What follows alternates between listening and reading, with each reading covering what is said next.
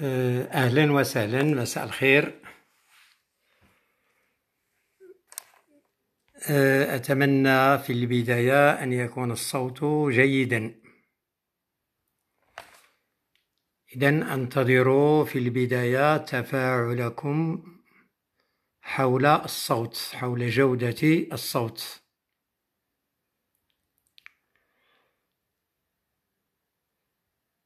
أنتظر ملاحظة حول جودة الصوت. إذا كان الصوت جيد جيد. شكرا. سيد نصر عبد الله شكرا. أهلا وسهلا ومرحبا بكم.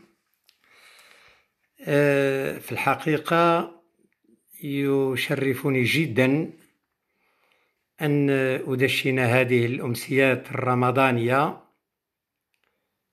ذات الطابع الدستوري. وسأحاول أن أقسم الوقت بشكل جيد كي نستغله على أفضل وجه. أقترح عليكم يعني مداخلة من جزئين. جزء أول سوف أخصصه للعرض. سيكون بمثابة مداخلة تتضمن تصوري حول السلطات الدستورية بصفة عامة ما بين سيرها العادي وغير العادي. وسأخصص الجزء الثاني للإجابة على آه، تساؤلاتكم التي يمكن أن تطرحوها عبر الجزء المخصص للتعليقات. أولا طبعا ليس من الضروري أن أذكركم بالعديد من القواعد الدستورية القانونية بصفة عامة التي تحيلنا دائما على الاستقرار على الديمومة. يلاحظ مثلا كل المهتمين بمختلف فروع القانون الخاص يلاحظون الاهتمام أو مبدأ استقرار المعاملات. كذلك نحن في القانون العام خاصة القانون الدستوري نلاحظ بأن جوهر النص الدستوري هو السير العادي للمؤسسات الدستورية.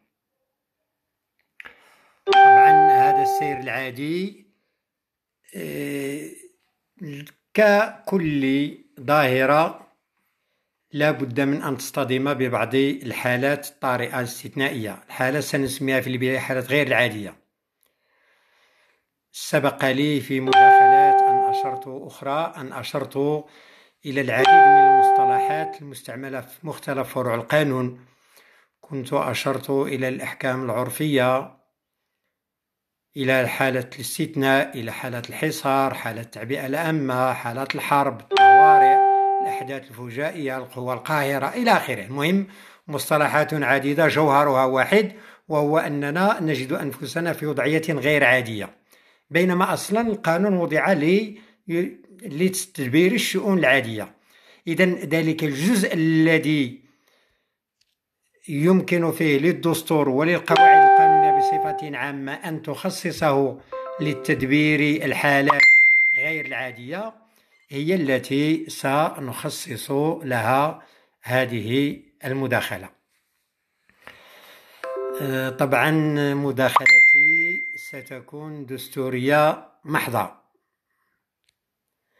بمعنى أنني سأحاول أن أعتمد طريقة يبدو لي بأنها جيدة وهو أنني سوف ألجأ لا إلى المقارنة ولا إلى تحليل ذو طبيعة سياسية بل فقط وأساسا سأبحث لكم ومعكم في الدستور عما يمكن أن نسميه حالات غير عادية.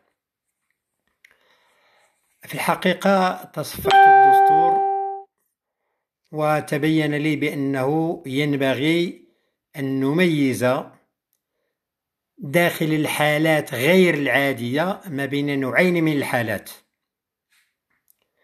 هناك الحالات التي يمكن أن نطلق عليها بأنها حالة استثنائية يعني حالات غير عادية. هي أربع حالات. أربعة وهناك حالات يمكن أن نسميها بأشباه الحالات غير العادية يعني تشبهها تقترب منها مدلولها يدل على ذلك رغم أنه غير مشار إليه إليها. بكيفية آه، صريحة. الحالات الرئيسية العادية التي يعني الرئيسية غير العادية. معروفة قلت أربعة.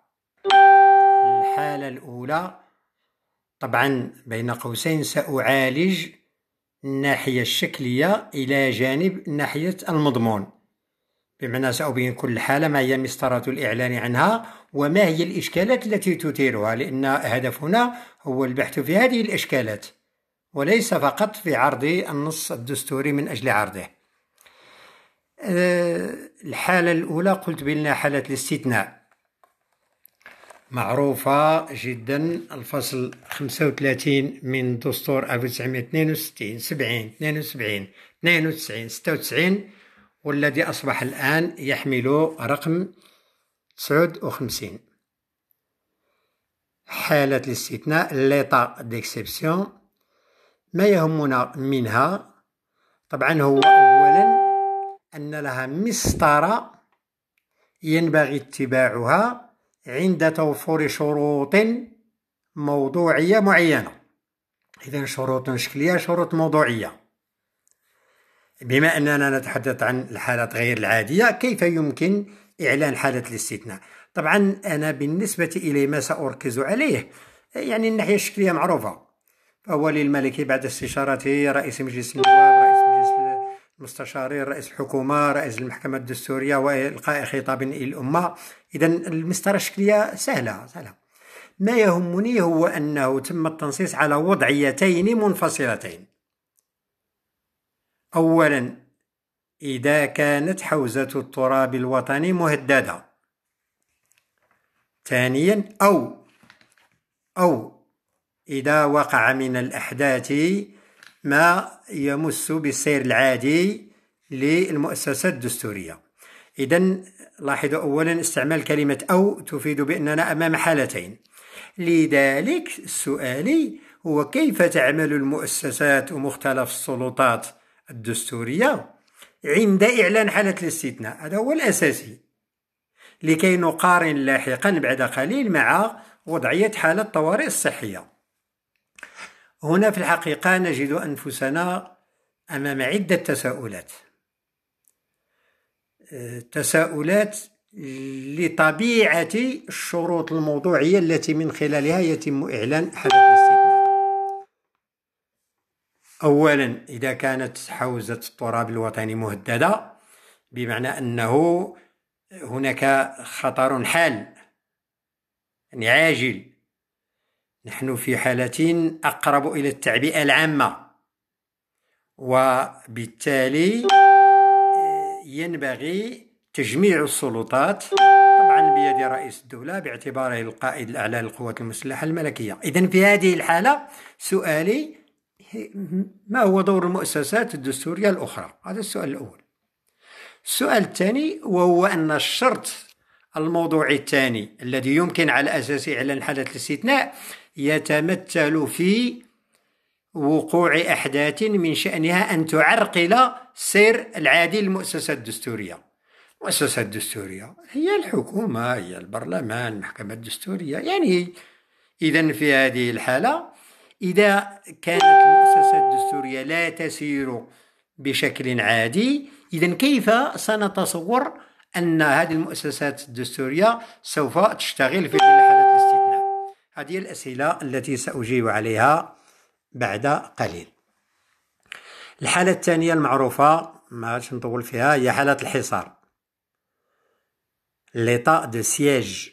حالة الحصار أشير إلى أنه وفق الفصل 49 من الدستور فهي تعلن أو يتم التداول بشأنها في المجلس الوزاري الذي يرأسه الملك. وطبق الفصل 74 يمكن أن تعلن هذه الحالة لمدة 30 يوما بمقتضى ظهير يوقعه بالعطف رئيس الحكومة. إذا الجزء المقطع المقتضى الأول من الفصل 74 يجعل من أن حالة الحصار محددة. محددة المدة.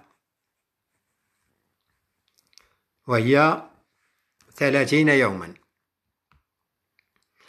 والمسألة الثانية المقتضى التالي من نفس المدى لا يمكن تمديد هذا الأجل إلا بالقانون. طبعا القانون يصدر عن البرلمان معناها أنه عند إعلان حالة حالة الحصار سنبحث بعد قليل دائما عن يعني ما هو دور المؤسسات الدستورية الأخرى. طبعا واضح على أنه مادام كان كلمة قانون معناها سنشير إلى البرلمان على غرار ما تساءلنا بصدده بالنسبة لحالة الاستثناء من حيث كون البرلمان يعني لا يحل إذا ماذا سيكون دوره الحالة الثالثة يعني غير مشار إليها في الدستور كحالة. ولكن مشار إليها كديكلاراسيون كإشهار وهي حالة الحرب. الفصل 49 يجعل أن التداول بشأنها بشأن إشهار الحرب يكون في المجلس الوزاري. فصل 99 يجعل آه، قرار إشهار الحرب يعني داخل المجلس الوزاري ولكن بعد إحاطة البرلمان علما بذلك من لدن الملك. طبعا هذه الحالة واضح بأنه صعب جدا الحديث عن المؤسسات الدستورية التي تشتغل لأنه مؤكد أنه دستوريا يعني القائد الإعلى للقوات المسلحة الملكية قائد أركان الحرب رئيس أركان الحرب هو الذي سيتولى السلطات إذن هو الملك. لكن سنثير بعض التساؤلات حول هذه المسطرة المتبعة هل هي مسطرة عملية أم غير عملية؟ بتصفح الدستور سنعثر على حالة رابعة. أشير إليها بحالة الأزمات. هكذا في الجمع الأزمات les situations de crise. مشار إليها في الفصل 54 من الدستور عند الحديث عن المجلس الأعلى للأمن. لأن هذا المجلس الأعلى للأمن هو هيئة للتشاور يعني في عدة بشأن عدة مجالات ما يهمنا وهو تدبير حالات الأزمات. إذا ما بين هذه الحالات الأربعة طبعا هذا المجلس يرأسه الملك يمكنه أن يفوض رئيس الحكومة اجتماع آه، معين لهذا المجلس بناء على جدول أعمال آه، محدد. لكن ما يهمنا أنه الآن نحن أمام أربعة مصطلحات أربعة مفاهيم تحيل على الحالات غير العادية. الاستثناء الحصار الحرب والأزمات. إذا كانت حدث الاستثناء بمقتضى النص الدستوري بمقتضى التطبيق الذي وقع من 1965 إلى 1970 يعني معروفة بصفة عامة سأرجع إليها. حالة الحصار هناك عنها الكثير من الكتابات. حالة الحرب معروفة. إذا تبقى نبحث عن مدلول الماء لماذا كلمة أو مفهوم حالة الأزمات؟ هذوما أربعة التي الأربع حالات التي سأعالج كيف تسير المؤسسات الدستورية عندما نكون في ظل إحدى هذه الحالات. لا قدر الله خاصة بالنسبة للحرب. هناك أيضا مجموعة ثانية من الحالات غير العادية سميتها بأشباه الحالات غير العادية. شبهتها لماذا؟ لأنه نستشف من النص على أننا أمام حالة غير عادية لكنها لا تصل إلى درجة الحالة الأولى ويتعلق الأمر بثلاثة حالات. الفصل 98 من الدستور. طبعا جاء في سياق الحديث عن حل البرلمان أو أحد مجلسيه. وتم وضع أحد المقتضيات دائما من دستور 1962 إلى الآن تنص على أنه إذا وقع حل أحد مجلسين فلا يمكن حل المجلس الذي يليه إلا بعد مضي سنة. ما عدا في حالة تعذر توفر أغلبية حكومية داخل مجلس النواب الجديد. إذن هي حالة جديدة وهي حالة تعذر توفر أغلبية حكومية. ما هو العمل في إطار هذه الوضعية؟ وإن كانت يعني هذه أقل ضررا. لماذا؟ لأنه في الحقيقة قد يتعلق الأمر في البداية بشهرين وإذا تعذر شهرين آخرين وطبعا لا ندري إذا طال الأمر ما هو العمل لأنه حالة الحالة الانتقالية التي كانت موجودة في الدساتير السابقة لم تعد موجودة. الحالة الثانية تتعلق بالفصل 132 المتعلق بالمحكمة الدستورية. هي حالة الاستعجال. c'est le cas d'urgence تتمثل في الحقيقة في الجانب المسطري فقط وهو أن المحكمة الدستورية تبت في, الحال في الحالات المحددة في تلك المادة داخل أجل شهر من تاريخ الإحالة. لكن هذا الأجل يخفض في حالة الاستعجال إلى ثمانية أيام بطلب من الحكومة. إذا حالة الاستعجال هي أيضا حالة غير عادية لكن هي مسطرية لأنها تخفض الأجل من شهر إلى فقط إلى آه، ثمانية أيام. الحالة الثالثة والأخيرة هي الواردة في الفصل 75 متعلق بقانون المالية وهي حالة عدم التصويت على قانون المالية أو عدم صدور الأمر بتنفيذه بسبب إحالته على المحكمة الدستورية. إذا هذه الحالة منصوص على على دستوريا على كيفية التعامل معها. يستمر العمل باستخلاص المداخل. المهم أنها حالة نص عليها الدستور هكذا في هذه الحالة. إذا نحن أمام ثلاث حالات لكن يعني سير المؤسسات الدستورية خلالها يعني واضح يعني واضح جدا جدا. لماذا؟ لأنه غنستبعدها من التحليل لأنه في الحالة مثلا المحكمة الدستورية وتخفيض للأجل ولكن باقي المؤسسات الدستورية تشتغل بطريقة عادية. وأيضا الحالات ديال القانون المالية يعني وضع مسطرة لاستخلاص المداخيل آه، وفق ما هو مقترح في القانون مشروع القانون المالي.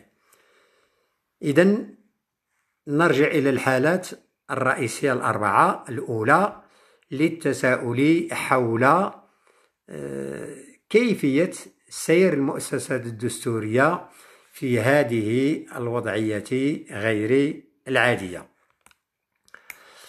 طبعا الحديث عن كيفية سير هذه الحالات ينبغي أن أو سنستحضر بخصوصه ما هو إيجابي في الدستور وما هو ناقص في الدستور. أولا بخصوص حالة الاستثناء. أعتبر بأن مسألة أساسية جدا لأنه لاحظت بأن الكل دائما يتساءل أن حالة الاستثناء كانت موجودة في الدساتير السابقة.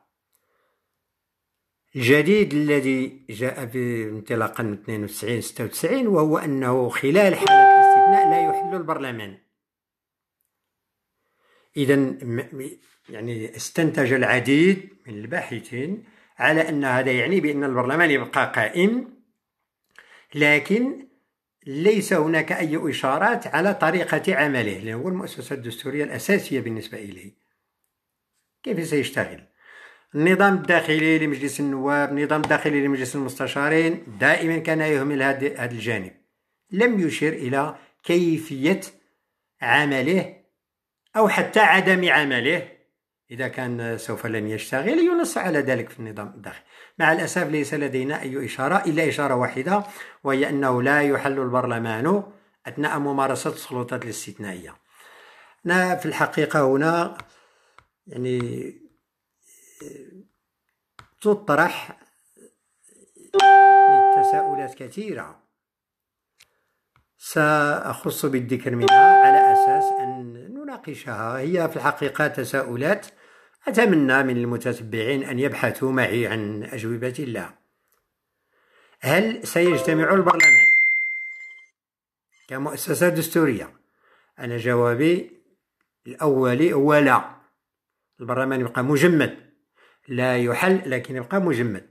ستقولون لماذا؟ سأقول لكم لأن إعلان حالة الاستثناء لاحظنا في حالتين. الحالة الأولى هي حالة التراب الوطني المهددة.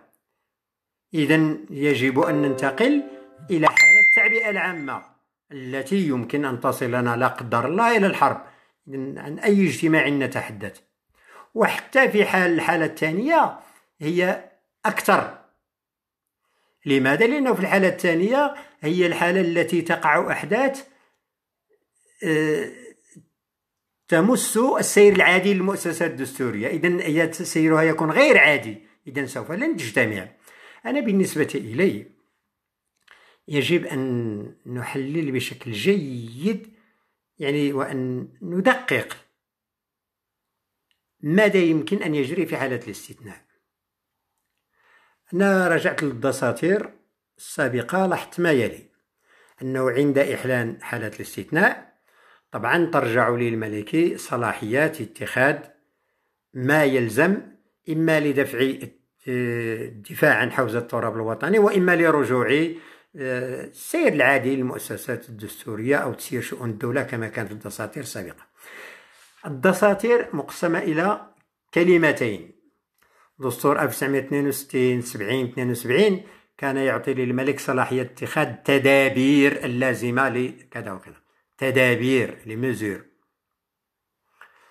92 96 2011 تم تغيير الترجمة. ما بقاش التدابير بقات الإجراءات. إذا في كلتا الحالتين سواء كان الأمر يتعلق بالتدابير أو بالإجراءات فهي آه، يعني تحيلنا على مقتضيات أو على ممارسات إما ذات طابع تشريعي وإما ذات طابع تنفيذي. إذا عمليا عمليا أنا أعتبر بأنه سيحل الملك محل البرلمان ومحل السلطة التنفيذية التي هي الحكومة. ستقولون طبعا الإجراءات أو التدابير ليست هي القانون وأن القانون من اختصاص البرلمان. سأقول لكم أن كلمة تدابير في الدستور المغربي مستعملة في الفصل 70 سنعود إليه بعد قليل. في قانون الإذن وهو أنه يمكن للبرلمان أن يأذن لحكومته أن تتخذ لفترة معينة ولغاية معينة. تدابير يختص القانون عادة باتخاذها. تدابير يختص بها القانون. إذا عمليا في هذه حالة الاستثناء لا مجال لعمل البرلمان وإنما التدابير القوانين التي يمكن أن تصدر عنه يمكن أن تصدر عن الملك بمقتضى كلمة التدابير أو الكلمة الأعم المستعملة حاليا وهي كلمة الإجراءات. إذا عمليا نحن الحالة الأولى عمليا نجد بأنه من الصعوبة بمكان أن تعمل المؤسسات الدستورية خاصة منها البرلمان. علما بأن الحكومة كجهاز تنفيذي تكون الحاجة إليها أقوى من السلطة التشريعية. طبعا سنقول إذا لماذا لا يحل البرلمان؟ هنا يمكن أن تطرحوا أسئلة كثيرة.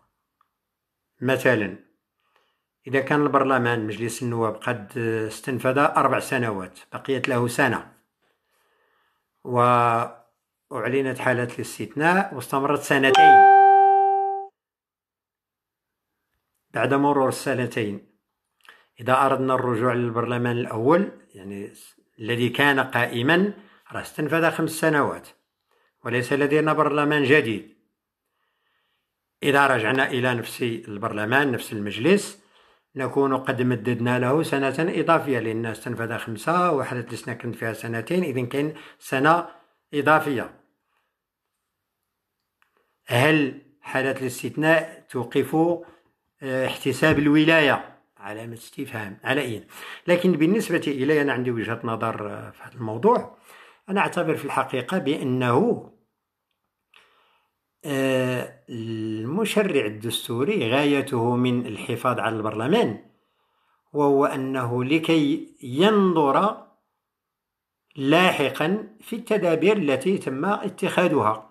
بمعنى ينظر ليس معناها أن يقوم بعملية مراقبة ولكن أن يستحضر يعني كل التدابير التي اتخذت. خاصة التي كانت في شكل نص قانوني قصد إجازتها لأن الحالة تكون رجعنا للحالة العادية.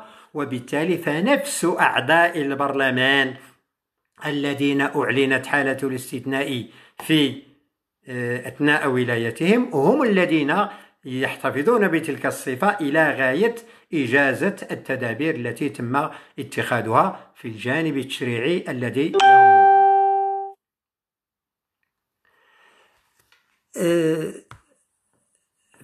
في هذه الحالة لأبين على أنه بدون ما نفصل عندما سيتخذ ستخول الصلاحية للملك لاتخاذ الإجراءات اللازمة لاحظوا بأنه بما أنه الفصل 42 يعطيه صفة رئيس الدولة إذن سيتصرف كرئيس دولة ويعمل على رجوع سير المؤسسات إلى سيرها العادي. سيستمر في عمله كأمير للمؤمنين لأن غير مرتبط بأي شرط لا عادي لا استثنائي. سيستمر في ممارسة مهامه كقائد إعلى للقوات المسلحة الملكية خاصة في الجانب المتعلق بالتهديد الذي يمكن أن يحل بالتراب الوطني. وثم يمكنه أن يستعمل أحد الوسائل الدستورية التي تتمثل في مخاطبة الأمة أو البرلمان من خلال الخطاب بحيث أن الخطاب دستوريا ما دام أنه لا يمكن أن يكون موضوع النقاش إذن يمكن من خلاله أن يسير شؤون الدولة دون الاعتماد على المؤسسات التشريعية أو حتى المؤسسات التنفيذية في بعض الحالات. علما بأنه دائما يكون للملك آه، آه، يعني إضافة إلى صلاحياته الذاتية صلاحيات يمارسها بواسطة أجهزة أخرى كما هو الأمر بالنسبة للفصل 54 للمجلس الأعلى للأمن وكما هو الأمر بالنسبة لمجلس الوزراء في الفصل 49 إذا آه هذا جزء يتعلق بصلاحيات الملك. يقابلها في الحقيقة أن البرلمان كسلطة تشريعية كمؤسسة دستورية يعني وضعيته خلال حالة الاستثناء يجب أن نضيف إليها ما قلته سابقا نضيف إليه ما هي وضعيته خلال حالة الحصار. لأنه في حالة الحصار مشار بشكل صريح على أنه تمديد حالة الحصار بعد 30 يوما يكون بقانون. طبعا هنا أيضا أسئلة كثيرة.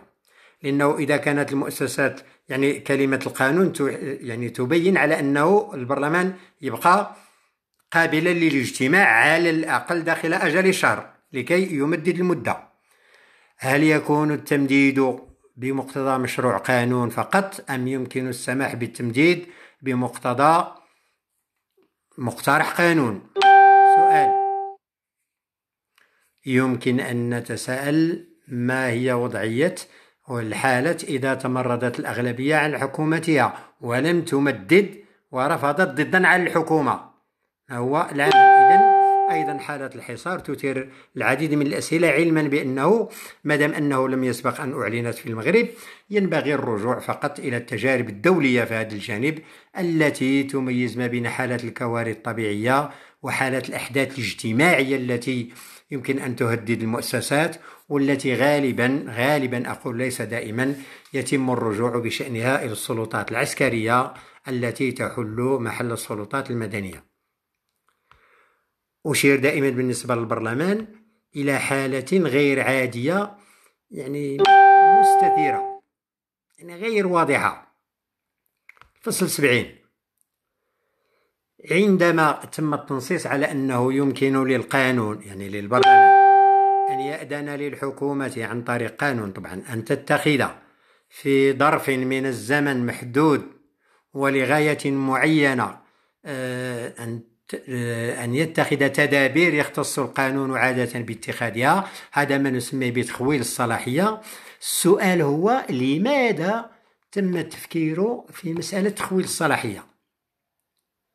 السؤال وهو أنه هل تخويل الصلاحية يكون والبرلمان قائما ويمارس صلاحياته أم أنه عند تخويل الصلاحية ندخل حالة غير عادية بالنسبة للبرلمان وينبغي يعني عاد أو ننتظر عدم آه، اجتماعه وعدم سيره بشكل عادي. ليس لدينا جواب ولكن من خلال دائما المادة 70 يعني تنص في واحد المقتضى أخير في ذيك المادة يبطل قانون الإذن إذا ما حل مجلسي البرلمان أو أحدهما. معناها أنه في ظل هذه الحالة ديال تخويل الصلاحية أولا حل المجلسين هذه صلاحية من اختصاصات الملك. حل أحدهما هذا اختصاص مزدوج يمارسه الملك ويمارسه رئيس الحكومة بالنسبة لمجلس النواب.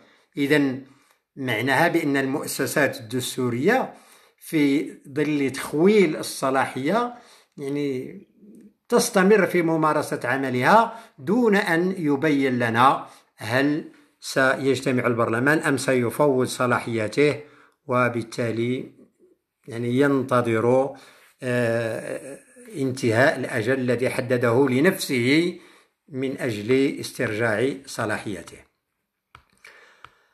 طبعا آه، دون أن أسترسل يمكن لي نعطي واحد الأمثلة أحيانا أحيانا الحالات غير العادية غير العادية المشرع الدستوري يوجد لها حلولا.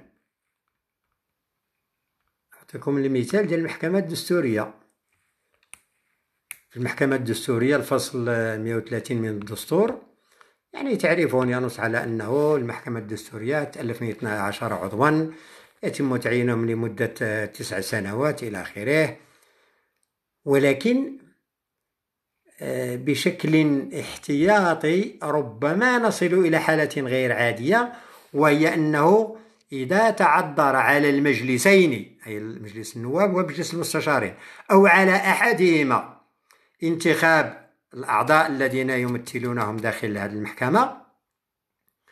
الدستور نص على أنه تصدر قرارات المحكمة وفق نصاب لا يحتسب فيه الأعضاء الذين لم يتم انتخابهم. بمعنى أنه يمكن أن نصل إلى حالة غير عادية بالنسبة للمحكمة الدستورية ناتجة عن وضعية غير عادية في مجلسي البرلمان أو أحدهما لكن الدستور أوجد الحل وهو أنه يتم آه، احتساب احتساب النصاب القانوني أو اتخاذ القرارات دون آه، اعتبار النصاب إلا الأعضاء الذين تم تعيينهم.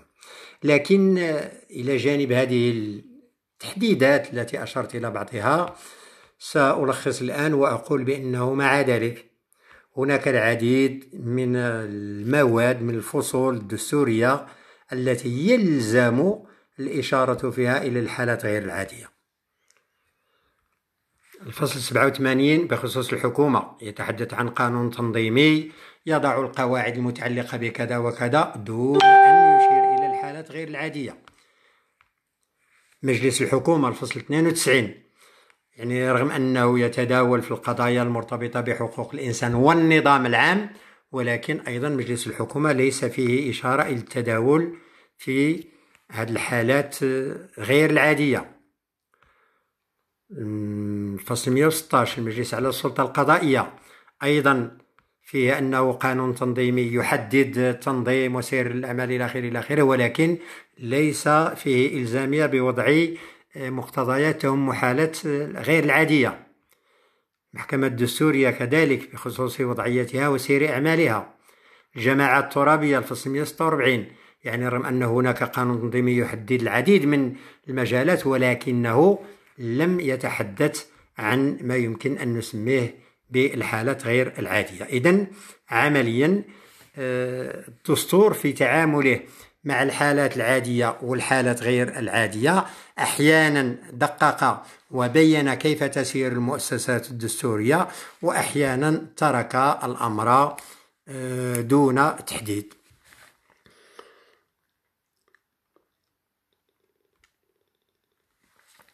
قبل أن أختم أريد أن أشير إلى أنه مع ذلك مع ذلك يمكن من صلب الدستور أن آه، نستشف القواعد التي تسير من خلالها. المؤسسات الدستورية في الحالات العادية وغير العادية. هي نوعين من المبادئ سنسميها المبادئ الموجهة. أولا المبادئ المنظمة لحقوق المواطن وواجبات السلطة.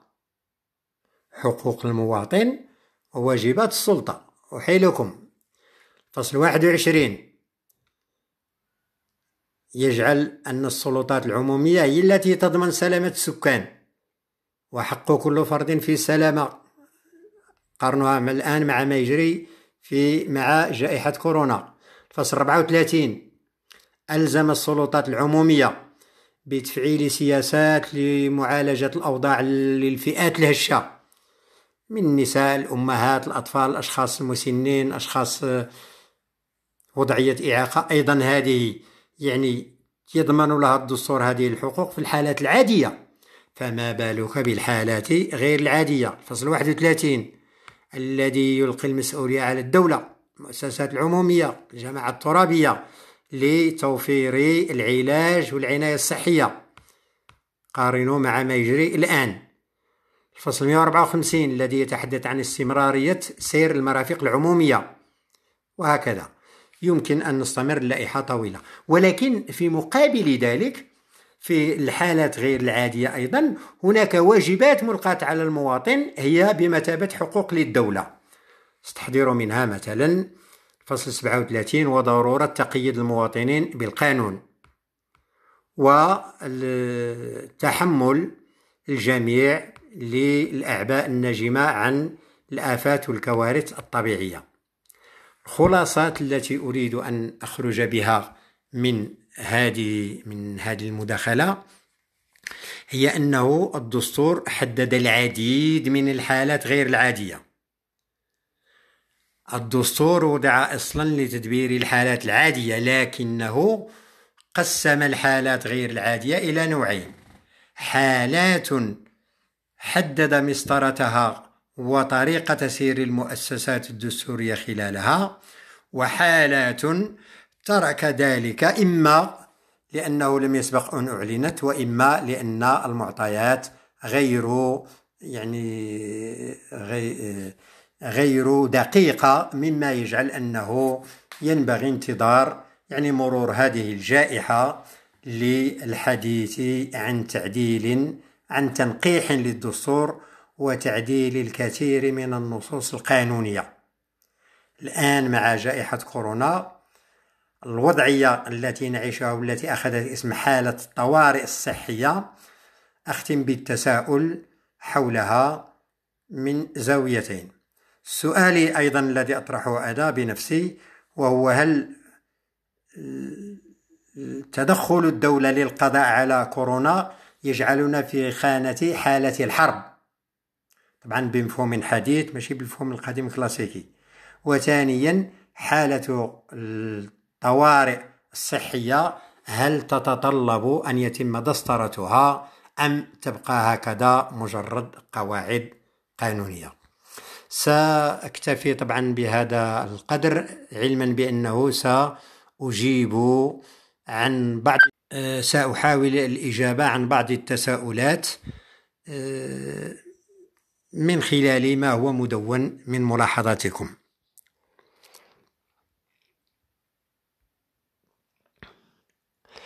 أولا بالنسبة لتمديد حالة أنا قلت بالنسبة لحالة الحصار يمكن تمديدها بقانون بمعنى بالقانون بمعنى بمقتضى نص قانوني إذن صادر عن البرلمان. وأنا أعي جيدا رغم أنني قلت هذا راه ذهني في ذهني الكثير من الأسئلة. ما هو العمل؟ إذا كان هناك مشروع قانون ورفضه البرلمان. ما العمل إذا لم تقدم الحكومة مشروع قانون وقدم أعضاء البرلمان مقترح قانون؟ وثالثا ما العمل إذا أعلنت حالة الحصار وكان البرلمان إما لم يعني كان قد سبق أن حل البرلمان؟ ولم تجرى انتخابات جديدة. إذا نحن أمام وضعية لا يمكن أن أجيبك عنها بالدقة آه، اللازمة لأن الأسئلة كثيرة. أه آه، أيضا آه، أبحث عن سؤال هل مرسوم بمثابة قانون الطوارئ الصحية يلغي القوانين التنظيمية للجامعات خاصة بعد مذكرة وزارة الداخلية؟ هذه أيضا يعني تدخل في خانة ما أشرت إليه من أنه العديد من القوانين والقوانين التنظيمية التي تنظم خاصة سير المؤسسات الدستورية من الضروري وأقول من الضروري تنقيح لا أقول تعديل تنقيح الدستور لإضافة مقتضيات ما تهم تدبير غير العادي. ما لاحظنا بالنسبة للجماعات الترابية آه، هو أنه كان فعلا هناك بلاغ الوزارة الداخلية التي أجلت هذه الدورات. طبعا هذا سؤال قانوني كبير جدا. هل من حق الداخلية أن تحل محل الجماعات ولو في ظل حالة الطوارئ الصحية؟ أتساءل أيضا لماذا لم يترك آه، لم يترك المجال للمجالس لكي يعني تعلن عن تأجيل دوراتها بنفسها. ولكن مع الأسف حسب اطلاعي أجد بأنه الداخلية كانت على حق على صواب مثلا في الجهة الشرقية سمعنا عن أحد رجال السلطة الذي دعا إلى دورة استثنائية في ظل حالة الطوارئ الصحية لتفويت قطعة أرضية. إذا أنا شخصيا عندما أجد مثل هذه الأمثلة أميل إلى أنه من حق الداخلية أن تلغي هذه الدورات الاستثنائية لأنه محاربة هذه الجائحة يعني أفضل بكثير من دورة استثنائية قد تمرر فيها مسائل ذات طابع شخصي أكثر منها آه، موضوعي.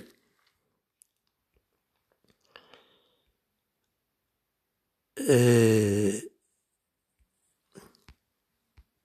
بالنسبة للمصطلحين اللذين أشرت إليهما والذين عفوا قلت المصطلحات التي تمت الإشارة إليها آه، بخصوص حالة الاستثناء المتعلقة باتخاذ تدابير والإجراءات أحد الإخوان يقول الإجراءات أعم من تدابير. يعني آه، أنا أعتبر في الحقيقة التدابير يعني أعم من الإجراءات. أنا نقول لك لماذا؟ لأنه الفصل السبعين الذي تحدثنا عنه الفصل سبعين الذي تحدثنا عنه. قلت يشير إلى ما يلي. عند تخويل البرلمان لصلاحيته. يخول ماذا؟ يخول للحكومة صلاحية اتخاذ تدابير يختص القانون عادة باتخاذها. إذن القانون الذي هو قاعدة عامة ومجردة سيشمل تدابير. إذن تدابير أعم الإجراءات فهي مساطر إذا أعتبر بأنه آه، في الحقيقة مزيان لو أنه المشرع احتفظ بكلمة تدابير بدلا من كلمة الإجراءات لأنه أحيانا يتطلب الأمر اتخاذ قرارات في المضمون في الموضوع في الجوهر وليس دائما في الشكل. أه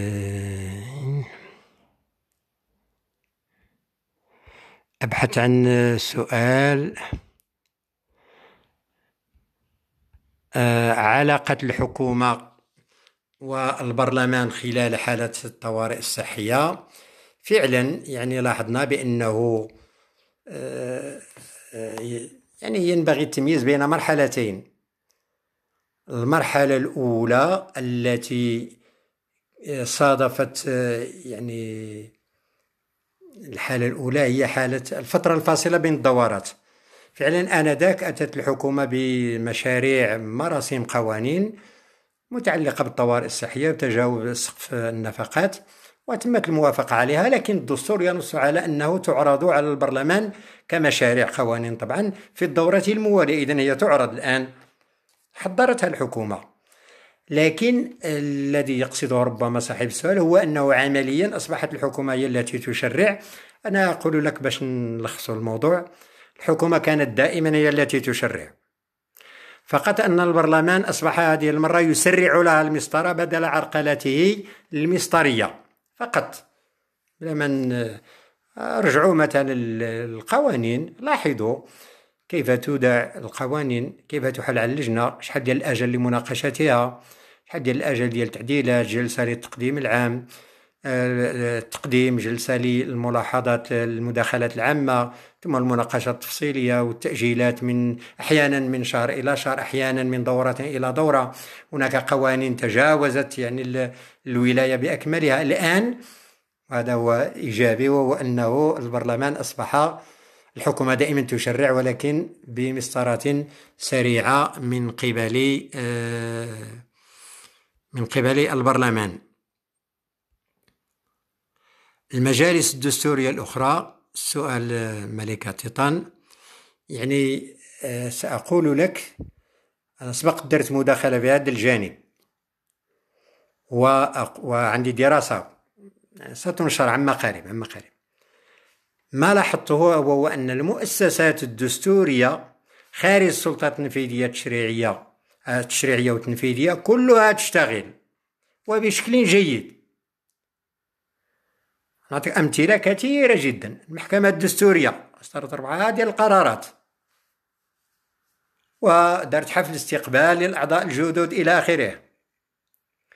المجلس المجلس الوطني لحقوق الإنسان يعني يتابع الأوضاع. وأصدر تقريره السنوي نتاع وضعية حقوق الإنسان في مارس. مجلس المنافسة العدد الأخير ديال الجريدة الرسمية مليء بالقرارات. بل أنه كان له الفضل في أنه أعطى رأيه بخصوص تحديد أثمنة الكمامات والمعقمات. أعطى رأيا جيدا رأي يعني بسرعة في ظرف 72 ساعة حدد فيه بعض المعاني تلك كلمة السوق التي لم نكن نسمع بها. ما معنى الأزمة في داخل السوق؟ ما معنى حالات الغير العادية؟ ما معنى إذا جيد. الهاكا المجلس الهيئة العليا السمعي البصري تشتغل تواكب تواكب كل ما تنشره الإذاعات والتلفازات العمومية والخصوصية. إذا بصفة عامة يعني أقول على أنه المؤسسات الدستورية الأخرى تشتغل. أهم ما ينبغي الإشارة إليه وهو الإشارة الملكية. هي المحدد ما دام أنه وفق الفصل 42 الملك هو الذي له صلاحية السهر على السير العادي للمؤسسات الدستورية. فما دام أنه يسير شؤون الدولة بطريقة عادية فمعناها نحن في حالة عادية. وعلى كل المؤسسات الدستورية أن تشتغل بشكل عادي مع اتخاذ إجراءات لازمة للحجر آه، الصحي أو لحالة الطوارئ الصحية. الملك قام بإجراءات عديدة كأمير المؤمنين. كقائد على القوات المسلحة الملكية كرئيس دولة اجتماعات جلسات عمل مبادرات استقبالات التعديل الحكومي وكل هذه قام بها بنفسه بشخصه بما آه، فهمت منها أنا شخصيا على أنه إشارة على أننا نحن في وضعية عادية. أن ما يلزم هو اتخاذ الإجراءات التي أعطى من خلالها المثال كاستقباله خلال التعديل الحكومي لرئيس الحكومة والوزيرين من خلال آه، الكمامة التي كانت إشارة على أنه السير عادي مع اتخاذ الإجراءات الاحترازية التي تدعو إليها السلطات آه، العمومية. آه، بقي أن أشير إلى أهم سؤال تركته للأخير وهو ما مدى دستورية قانون الطوارئ الصحية؟ آه، أنا أقول كنت تحدثت في البداية. لاحظوا تكلمت عن الاستثناء الحصار الحرب الاستعجال. هذه المصطلحات كلها تبين على أنه لا بد من أن نصطدم بحالات غير منتظرة. في القانون الإداري كيسموها الحادث الفجائي. Gaz de Bordeaux رجعوا ل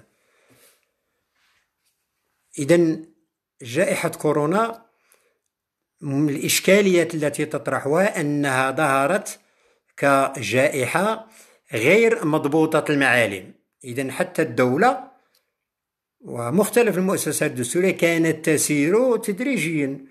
تذكروا في البداية قيل لنا بأن الكمامة غير ضرورية. الآن أصبحت إجبارية وهكذا. إذا عمليا يعني آه، البت في دستورية أو مدى عدم دستورية المرسوم بقانون سيكون عمليا بعد المصادقة على مشروع القانون.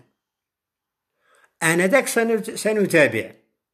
هناك عدة جهات دستورية لها صلاحية عرض الأمر على المحكمة الدستورية.